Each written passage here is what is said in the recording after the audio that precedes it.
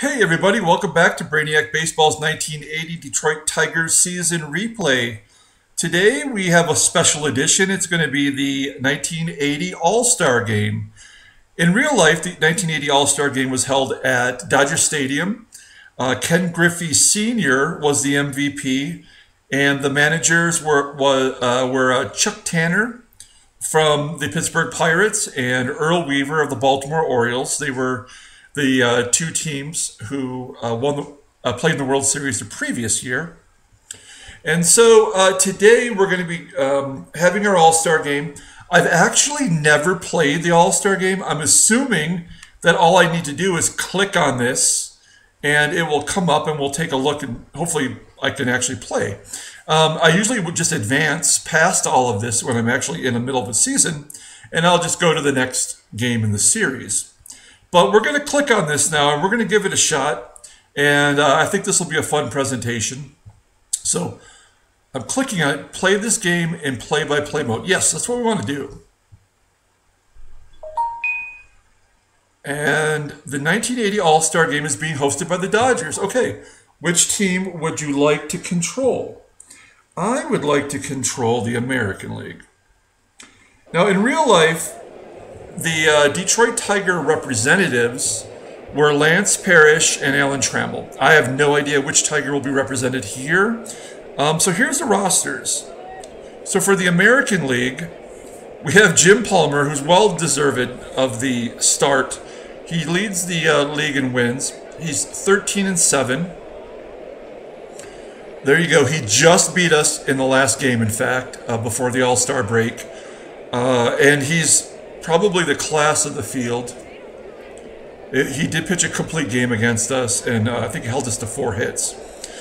Um, and so he's a, he's a representative of Baltimore.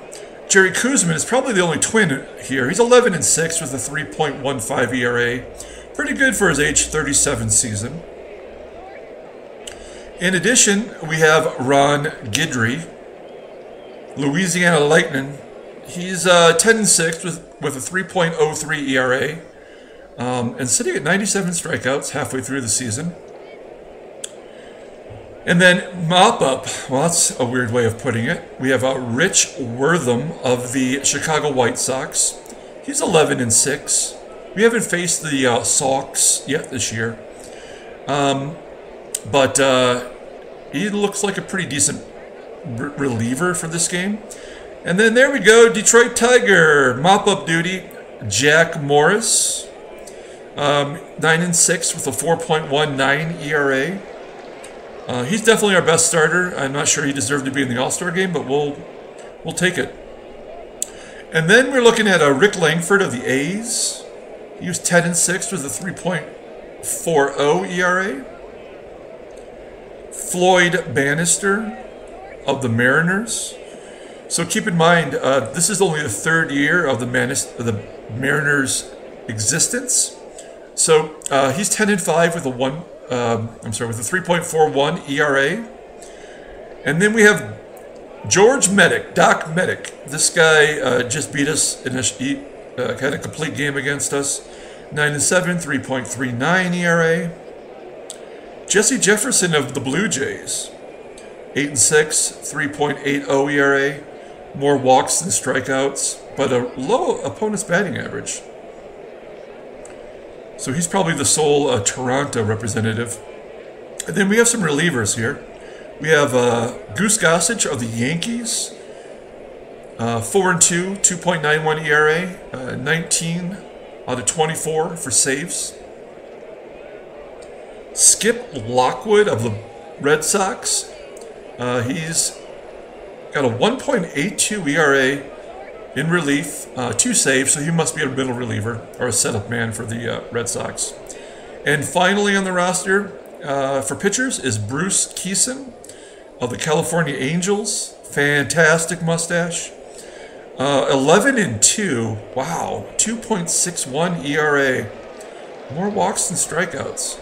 Um, but wow, he he should he probably should be the starter. Um, but I'm going to go with what the uh, league, uh, what the game suggested with Jim Palmer. Uh, it'd be fun to control him instead of having him crush us. Let's look at the lineup. Here's the lineup for today's game. And we're going to leave this as the lineup. And since we're in the National League, uh, looks like Palmer's going to bat. So batting leadoff for the American League is going to be Darrell Porter, catcher. Uh, he's batting 278 overall with 17 home runs. Batting second will be uh, George Brett of the Royals with cheese. And uh, 10 home runs, batting 314. Hall of Famer Paul Molitor in his third year with the Brew Crew, and he has 11 homers, 15 stolen bases, also batting 314. And then we have Willie Mays Aikens. Mays is his middle name. And uh, he's got 13 home runs, batting 318. And then we have Reggie. Mr. October, he's come on strong. If you remember in the early uh, games of the season against Detroit, he only had two or three home runs for a long time. And now he's got 13 and he's batting 288 overall. And a shocking 12 stolen bases. And then we have Dewey Evans. He's actually on the Royals. He got traded uh, earlier this season, as you can see. He's got 16 home runs. He's batting 353 for the uh, Royals since the trade. That's amazing. And then we have uh, the human rain delay, Mike Hargrove of the Indians. He's a left fielder, and uh, he's batting. He's, what has he got here? He's got nine home runs, batting 322, 414 on base percentage. He does walk a lot. That's why he's called the human rain delay. And uh, Robin Yount, Hall of Famer, and he's got uh, 14 home runs, a career high at this point, batting 336. And we already covered Palmer, so we'll, let's look at the backups. We have Bobby Grich of the Angels, um, 11 home runs, batting 301. We have Reggie Smith of the California Angels, having a pretty good season himself, 16 home runs, batting 323. We have Yaz, age 40, with 15 homers, batting 307. And then we have Glenn Borgmann of the Orioles, who bats leadoff for them, and he has totally crushed us all year, as all the Orioles really have. He's got eight home runs, batting 294. We have Dave Rader, also a catcher. This guy took over for Carlton Fisk after Fisk was traded to Detroit, and all he's done is raked. He's got uh, only 189 at bats, six homers, batting 328 and he's been unstoppable against us.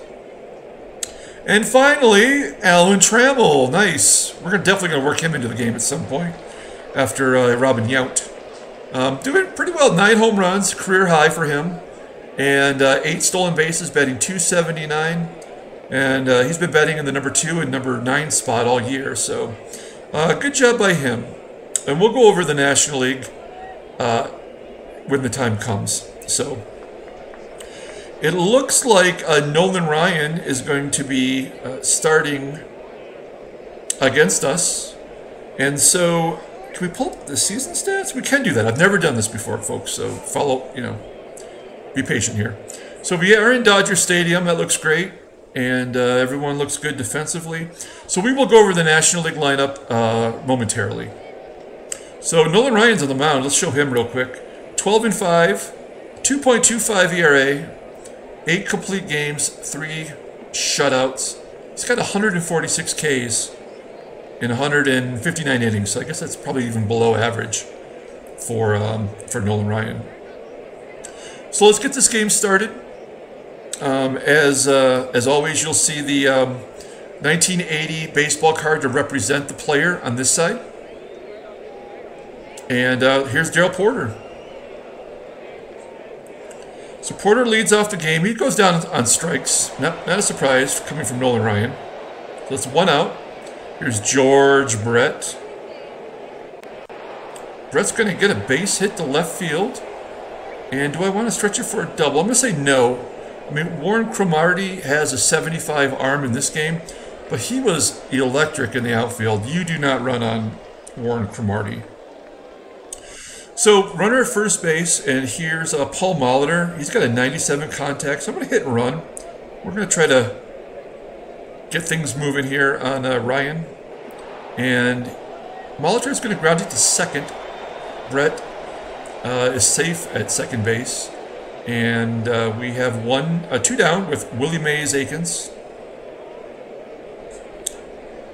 And Aikens is going to ground it right back to Ryan. And we're out of the inning. Oh, wow. Jim Palmer's already listed as tired. Well, we only need him to go maybe two innings, right? So let's take a look at the National League. Um, I don't know if we'll be able to see their full roster, which is a bummer. Uh, but we have uh, Gary Weiss, who it's a rookie batting leadoff. He is a Dodger. Um, I don't know who this guy is, but he's got he doesn't have a home run. He has 28 stolen bases at the halfway point, batting 298 overall. Batting second and in center field is Gene Richards, also another speedster. Uh, no home runs, 32 doubles at the halfway point, and 44 stolen bases, batting 334. So you can see what the National League game is. It's all speed. But we're looking at Dave Parker, who's got some pop. Probably deserves to be in the Hall of Fame. Hopefully, he gets some recognition. Uh, it didn't help him much that he was involved in the cocaine trials um, in the late 80s, early 90s. So uh, he has 12 home runs, batting 311. Batting cleanup is Pops, Willie Stargell. He's age 40, just like uh, Carl Yastrzemski. He's got nine home runs, batting 320 at age 40. That's impressive. At third base is Mike Cubbage. Cubbage got traded over uh, from the Twins earlier in the season. 13 home runs, 287 batting average. And here's Warren Cromartie. Uh, 11 home runs, batting 360. Uh, he also had some serious drug issues, uh, which derailed his uh, career but um, a fantastic player in his time and definitely underrated. And then there's Butch Wynegar. He was traded over midseason to the home team, the Dodgers here. And uh, he's, wow, not great. Maybe he's the best they have to offer in the National League. I'm not sure. Maybe we'll see a replacement, but um, not all that impressive. But someone's got to do it, right? And finally, at second base is Keith Drumright. Uh, I remember him on the A's. I do not remember him on any other team. But in this game, he's on the Cubs, and he is dynamite. No home runs, 10 stolen bases, batting 353. Okay, and we've already covered all the, the uh, American League pitchers, so we can just get right at it. So, betting leadoff is this unknown named Gary Weiss, rookie all star. And Palmer plunks him in the side in the middle of the All Star game. I, I mean, we have to kind of keep an eye on Palmer then. Uh, I hate to see him get injured because we're pushing him while he's tired. So runner first, the guy with a lot of speed. Gene Richards at the plate, and there's a stolen base as Richards almost got hit also. So as predicted, as a stolen base, look at my look at the outfield uh, defense for my team. Terrible, terrible defensively below average anyway. So Palmer gets Gene Richards to ground back to for uh, the pitcher, and Weiss holds at second base. So there's one down. Here's Dave Parker. And wow, Weiss tries to steal third, is thrown out by uh, Darrell Porter, and so it's two down. Everybody's aggressive today. So two down, Dave Parker still up to plate, and he strikes out swinging. So uh, we head to the top of the second. Reggie Jackson versus Nolan Ryan. Power versus power. And Ryan wins as he strikes out uh, Reggie on a high inside pitch. So that brings up Dwight Evans. I like the uh, American League uh, All Star Game uniforms as uh, Evans pops out to short. So two down for the only uh, Cleveland representative, Mike Hargrove.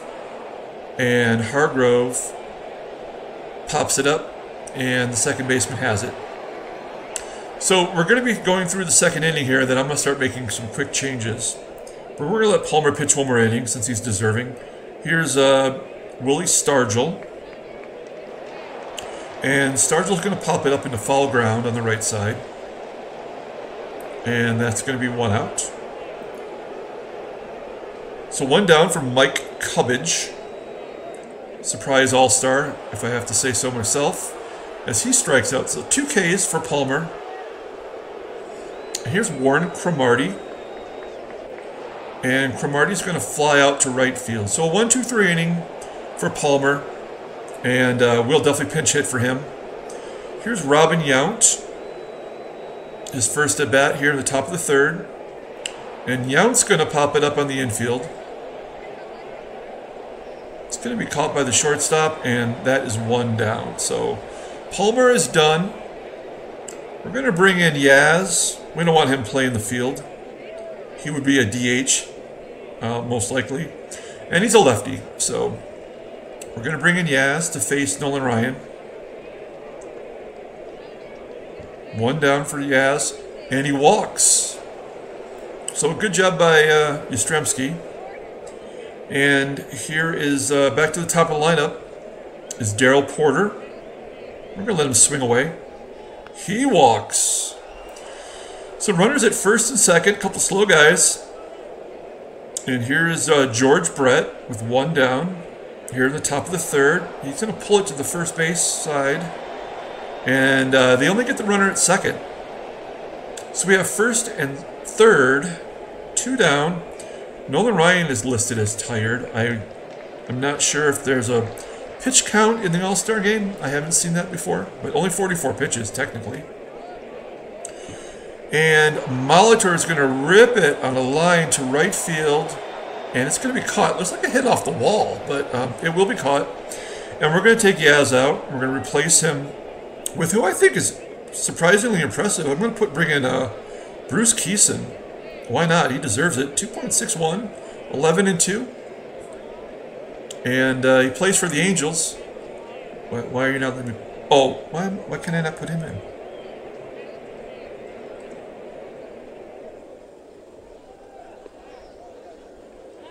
Um, hmm.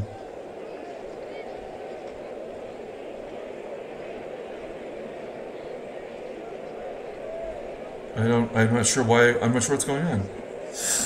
Uh, okay, let's try Ron Guidry. Yes, I guess we do. All right. So I, am not sure they won't let us do that, but um. Uh, hmm. Okay. Well, let's bring in um. Shoot. Let's bring in Rick Langford. Okay. I don't know why they won't let us use Bruce Kison, but maybe we'll try him later on. So that's the first time I've seen that. Uh, okay, so Rick Langford's in there. Here's Butch Wynegar leading off the bottom of the third. And Wynegar gets hit by Langford. So Palmer hits a batter and Langford hits a batter. So uh, runner at first base for Keith Drumright. Drumright hits it back to Langford. And they get the runner at second. And uh, Drumright remains at first. They're going to bring in a pinch hitter. And it's going to be uh, Ken Landreaux, who is on the Dodgers. He was traded over from Minnesota. And a combined eight home runs with 21 stolen bases. Um, not sure what that batting average comes out to. I guess it's over here, right? 314 overall. So one down for Kenny Landreaux. And another attempted steal, this one by Drumright, and he's caught stealing. So good job by Porter. He's got two out of three uh, so far in stealing. So two down for Kenny Landreaux. And Landreaux rips it to left field. It gets down and gets to the wall. Landreaux is going to be safe at second. And so runner in scoring position as they head back to the top of the lineup with Gary Weiss. And Weiss strikes out swinging. Steve Carlton, lefty, comes into the game. Here's Steve, Steve Carlton's numbers. He's 12 and 3, 2.23 ERA. Opponent's batting average of 186. Nine complete games and three shutouts already. So, um, uh, who's on our bench? I'm sorry, I just want to check. We have a second baseman, a right fielder, and a couple catchers, and Tram. Okay. So, we're going to let uh, Willie Mays Aikens swing away, even though he's a lefty. He's going to ground it to second base. And the second baseman commits an error that's on Drumright, so he gets caught stealing. and subsequently commits an error in the next inning. So, runner at first. Here's Reggie. Carlton versus Reggie Jackson, and he strikes out on an inside pitch. So one down for Dewey Evans. He's a righty, and Evans is going to pop it up to Drumright at second, and that's two down. So two down for Mike Hargrove. Aiken still at first base. And Hargrove gets a base hit to center field. Aiken stops at second. And that's only the second hit for the American League. So we head uh, to the number eight hitter, Robin Yount. Pitcher's up next. And Yount sends it deep to center field. But it's going to be caught by the center fielder, uh, Gene Richards who is leading off the bottom of the fourth.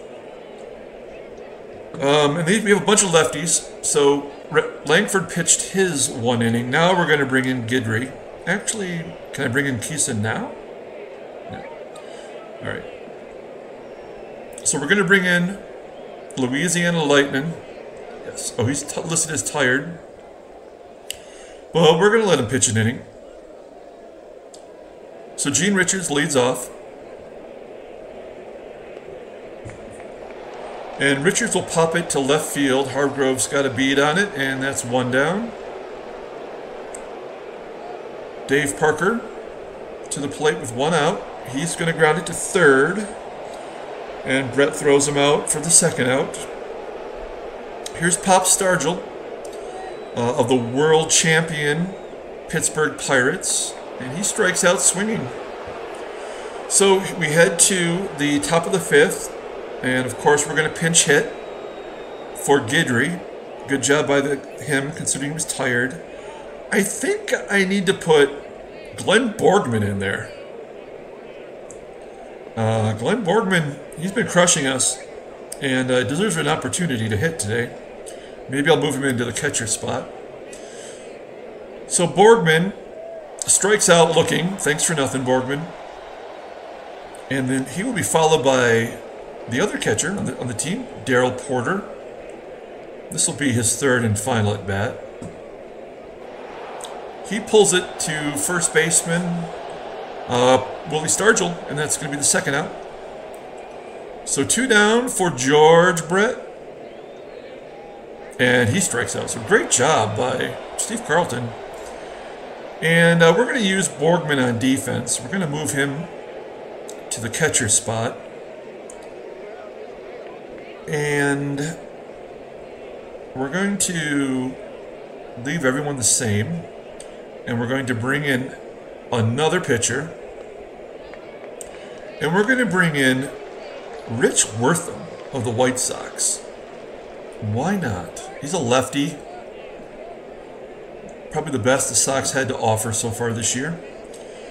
And he's going to face Mike Cubbage leading off the bottom of the fifth.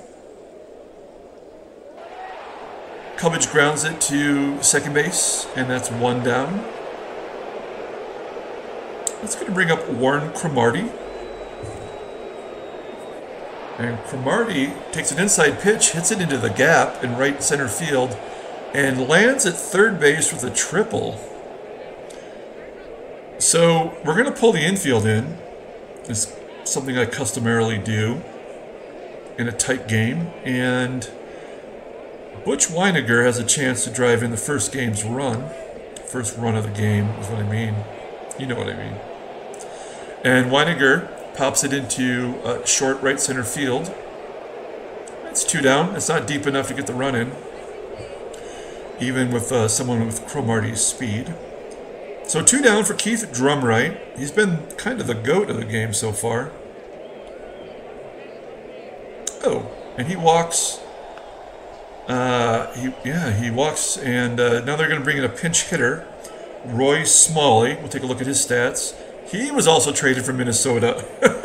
Minnesota has made a lot of deals, and I, I, could never tell if they were trying to win or they're trying to uh, get rid of payroll. But uh, yeah, Roy Smalley, I didn't see what team he's on. He's on Reds. So we have a Reds representative in there. So two down. We're going to let uh, Wortham pitch to Smalley, who's a switch hitter. He's batting righty. And he strikes out looking. And what do you know? The National League's going to bring in J.R. Richard. 11 and 6, 2.31 ERA, 181 on base percentage. Sad story for J.R. Richards. He was actually living under a bridge, homeless at one point, uh, due to his um, substance abuse. And uh, so we're coming around to the second time through the lineup, and I'm going to bring in Bobby Grich for Paul Molitor. So Bobby Grich will face J.R. Richard. And Grich pops it up to second base. That's the first out. So one down. Here's Willie Mays Aikens. Aikens is going to pop it to foul ground on the third base side. And that's the second out. And here's Reggie Jackson with two down, and he strikes out for the third time in this game. So out comes Wortham. And uh, can we... I guess we're going to go with Jerry Koosman if they let me. Yes, they will. All right. So Koos is in there. He's on the Minnesota Twins. He's going to face uh, Gary Weiss to lead off the bottom of the sixth. And Weiss gets a base hit to center field. So he was thrown out stealing. He stole second base, thrown out at third in the first inning. Nobody out. Here's uh, Gene Richards. No score in this game so far. Maybe what you would expect. I don't know. Gene Richard, Richards flies out to right center field, and Weiss takes a risk and uh, advances to second base. You don't see that very often. So runner at second. Here's Dave Parker. This is lefty on lefty. And Parker's going to pull it to the second baseman, Bobby Grich, and he's going to be out at first. Weiss advances to third base. So opportunity here for the uh, National League to take the lead with Willie Stargell on the mound, on the on the at the plate, and uh, Koosman strikes out uh, Willie to end the bottom of the sixth. So we head to the top of the seventh. Dwight Evans is going to lead off the inning against uh, J.R. Richard, and he strikes out. So one down, only five hits so far this game. Mike Hargrove has one of them. And Hargrove is going to send a lazy fly ball to right field. And that's two down. And now we're going to bring in our boy, Alan Trammell. Two down for Tram. And Trammell's going to ground it to third. And that's the third out. So we head to the bottom of the seventh inning. Koosman pitched his one inning. Here's uh, Floyd Bannister. We're going to bring him in to face the lefties. And then we only have lefties left in the bullpen. So Mike Cubbage is the first batter that Bannister will face. And he's going to get a base hit over the bag at second. And they have a runner at first. That's the fourth hit for the National League. Warren Cromartie to the plate with no outs. This is a double play. No. Now they get the runner at second. One down for Butch Wynegar, who's betting 333 versus lefty, so maybe that's why he's in this game. Only 246 overall, clearly the worst uh, hitter on the National League team. And he's going to make me eat those words by hitting a home run into left center field. And that's a two run shot. And the National League takes the lead. So 2 0. Keith Drumright to the plate. He's going to strike out looking. And they're going to bring in Johnny Ray to pitch hit. He's a rookie in 1980. No home runs like most of the people in the National League uh, team. Eight stolen bases, batting uh, 299. So two down for Johnny Ray. And Ray's going to pop it up to the uh, third baseman. And that's going to be the end of the inning. So the National League is going to bring in Ed Whitson. And Whitson is 8 and 5 for the Giants. 3.81 ERA, 275 opponents batting average, and he's got one uh, complete game shutout. So uh, Glenn Borgmann will lead off the inning, as he does for the Orioles. And Borgmann's going to ground out to short. That's one down. So here's Bannister. We're going to take him out and bring in Dave Rader. That's only going to leave Reggie Smith on the bench.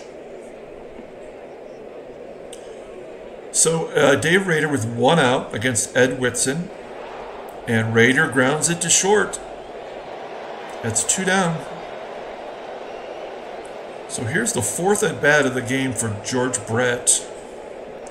And Brett grounds it to second, and another one, two, three inning. So we're going to replace uh, Dave Rader with a pitcher. All we've got left is righties. It's the eighth inning. I think we need to bring in Goose. So here's Goose Gossage. This might be the only. Uh, this might be the last, you know, pitcher to make it into the game. So we're going to let Goose uh, get in there here in the eighth. He's going to face Gary Weiss, who's been a thorn in the side all game. He flies out to center field. It's one down. So one out for Gene Richards. Richards hits it to left field. That's a base hit. Runner in first, great speed. And Dave Parker comes to the plate. Parker strikes out swinging. It's two down. And here's Willie Stargell. Stargell walks. So runners at first and second, two down. Mike Cubbage. Cubbage grounds it back to Goose. And that's the third out of the inning. So we're down to the final three outs of this All Star game. Reggie Smith is the only person left, and I, I will probably pinch hit him for Reggie Jackson, unless we get a runner on base. Because J- Jackson's definitely capable of hitting a two run jack. So Bobby Grich grounds it to third. And that's oh, an error on the third baseman, Mike Cubbage. So there's our base runner, guys. Okay, so Ed Whitson, they're keeping him in the game. Uh, runner first. I'm going to have to let Aikens swing away. It's either going to be a double play with his slow speed, or uh, let's hope a home run. Boom! No, it's going to be a high fly ball to right field. And that's one out. Man, I need to um, I need to let Reggie hit. Uh, so yeah, Reggie's got to hit. So one out. Grich is at first base. Chance here, and he strikes out for the golden sombrero.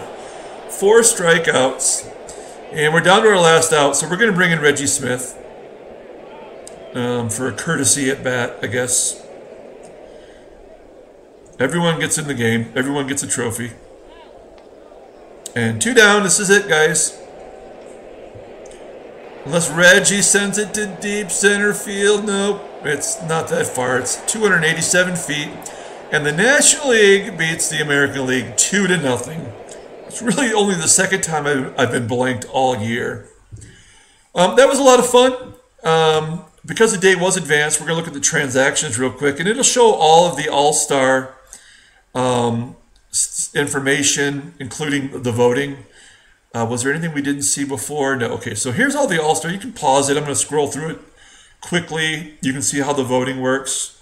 I do wish this game had the opportunity for us to vote uh, as players of the game, um, but That's not an option. I'd like to see that come through. Ted Simmons did not get into the game. He was listed as a starter. Maybe he's injured. I don't know. Uh, who didn't? Who else did we not see? We did not see the knuckleballer, Phil Niekro. We did not see Tom Seaver. We did not see Craig Swan, or John Stearns, or Michael Jack Schmidt did not get in the game. Tug McGraw, Jesse Orosco, Bruce Sutter, and Steve Howe did not get into the game. And then after the game was over, there was a trade. For the second time this year, Alan Bannister has been traded. Uh, so he's played for Cleveland, Atlanta, and now he's a Phillies second baseman. And in return, Juan Samuel goes to the Braves. He's a rookie. I mean, uh, he's an A ball, I should say. And let's go and pull up the box score. We'll get out of here. Tomorrow, um, the next video you'll see will be a, a legal leaders video. Those, I mean, the one I did before was went pretty long, so uh, it might be a little bit longer. I'll try to keep it as, as concise as possible. Uh, but I appreciate everyone following along. I hope you enjoyed the game. That's the first time I've ever done that, so um, that was fun for me. I tried to work in as many different players as I could, as you can see in the box scores here. Um, like and subscribe if you're enjoying this content. If this this is your first time watching, this is the kind of stuff we do. I also have a sports card breaks. I have two contests coming up for that. Um, and you can follow along uh, at Brainiac Baseball Card Breaks.